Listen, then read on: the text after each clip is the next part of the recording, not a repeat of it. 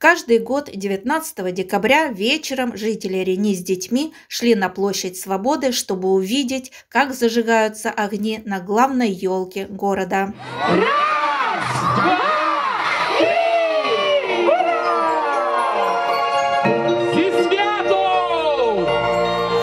Будет ли организован праздник в этом году, в період воєнного положення? Кожного року ми відкривали, але цього року за рекомендацією військової державної адміністрації ми е, трошки змінимо вже святкування. 19-го не буде відкриття ялинки, е, зате е, не буде ніяких масових заходів, щоб ну з метою запобігання масового скупчення людей, і все переноситься в е, заклади, де у нас ну, при кожному закладі є культура. У нас є е, укриття, простіше укриття, і всі е, такі новорічні ранки, День Святого Миколая з ялинкою, все у нас будуть в закритих закладах. В последнее время у жителей Рени была еще одна веселая традиция – собираться 31 декабря к полуночи у главной елки и вместе встречать Новый год, открывать шампанское, смотреть смотреть на красочний салют і танцювати до упаду. В цьому році такої традиції не буде, тому що ну ви знаєте, що у нас комендантська година, але і ми не будемо збиратися біля ялинки,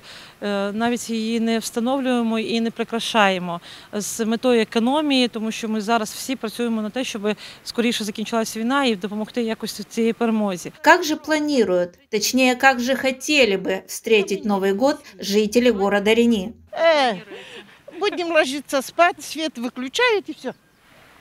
Блэкаут. Так праздновать. Как Новый год собираетесь встречать? Расскажите. Я на смене буду. Как обычно, на работе и дома.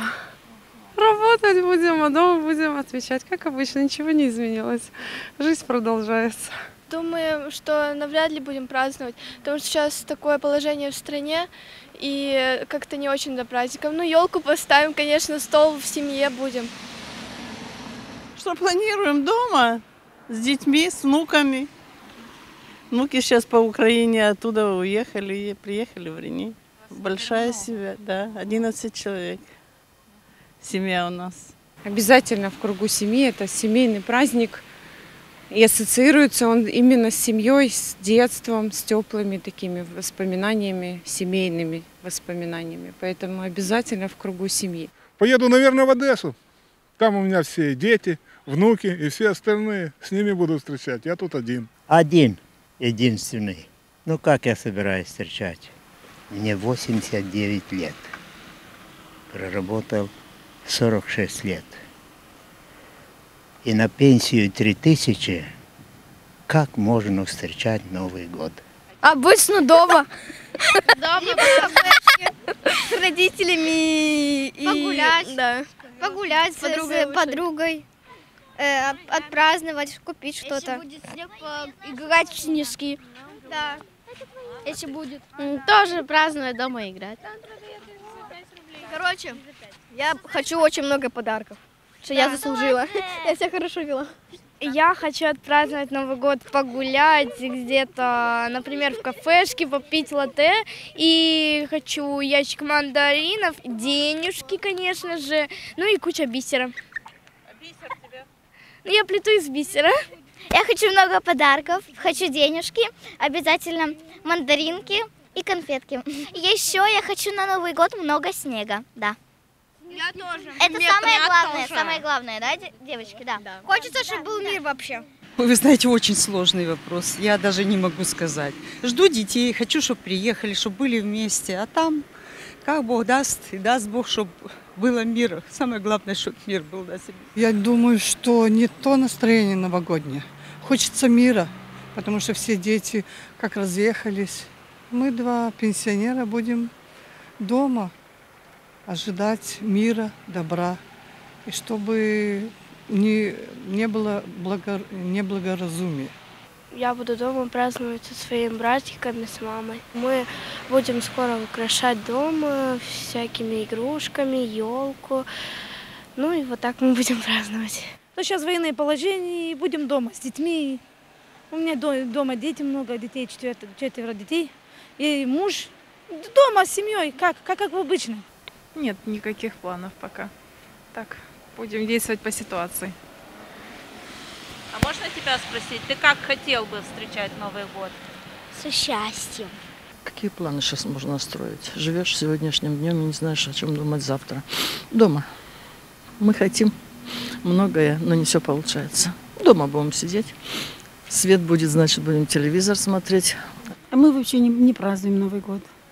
Мы, как верующие люди, мы не празднуем. Для нас Рождество праздник. Девушка миленькая, в этом году 29 числа будет три года, как мой сын умер, средний. Для меня Новый год не очень, знаете, не праздник такой. Раньше, да, праздновали. Как, ну, как в семье, знаете. Мы не с достатком, конечно, но как обычно. Да, Царство Небесное. Как? Дома, с семьей. Ну и, конечно, радостно, что у нас тихо, спокойно и люди доброжелательные все. Хотим елочку, конечно, украсить.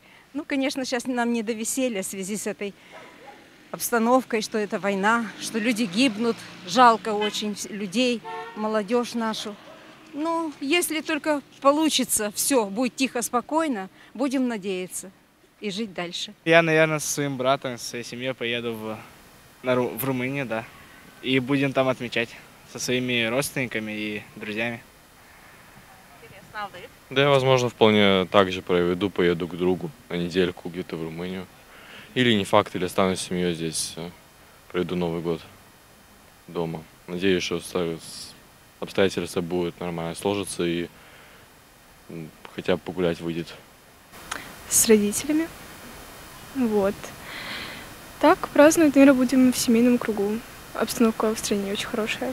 Собирались просто вместе всей семьей быть дома, потому что мне папа сказал, это семейный праздник. С сестрой, с мамой. Хочу мира всем, всему миру, чтобы мир был на всем, во всем мире. Это самое главное, по-моему. А праздновать будем, когда будет перемога, когда будет победа. И хочу, чтобы эти дети, которые сейчас защищают нас, были здоровенькими. Здоровенькие вернулись э, в свои семьи, к своим деткам, к мамам, к родителям, к женам. Это самое главное на сегодняшний день. Дай Бог нам мирного неба, победы и благополучия нашему городу и нашей краине. Но даже в период военного положения по возможности взрослые дарят детям их любимые праздники. Первый утренник 15 декабря был проведен в Ренийском центре культуры и досуга для детей из семей, которые приехали в Рени из зон боевых действий. На второй утренник пришли воспитанники Ренийского центра реабилитации детей и молодежи с ограниченными возможностями. Перед ними выступили воспитанники образцового хореографического ансамбля «Конфетти» и участники детского народного театрального коллектива «100 фантазий». Работники Ренийского центра культуры и досуга подготовили подвижные игры, поскольку из-за длительных отключений електроенергії не удается должным образом прогреть зал. Сподіваємося, що ніякі е, перепони нам не завадять, відсутність світла, відсутність тепла, але ми намагаємося своїми зусиллями е, Докласти максимальні зусилля, щоб е, діткам е, і нашим гостям було в нас комфортно. Бо зараз в такий важкий час це дійсно дуже важливо. Не зупинятися, і щоб е, ніякі е, вороги не завадили нам отримувати е, максимального задоволення і бути натхненними перед прийдешніми святами. Адже Святий Миколай він приходить до кожної хати, до кожної дитини, навіть до тих, хто в- в душі дитина, але всі чекають на дива. І сподіваємося, що в нас виходить ці дива втілювати у життя. А как вы планируете встречать Новый год? Пишите об этом в комментариях, делитесь нашим видео и ставьте лайк.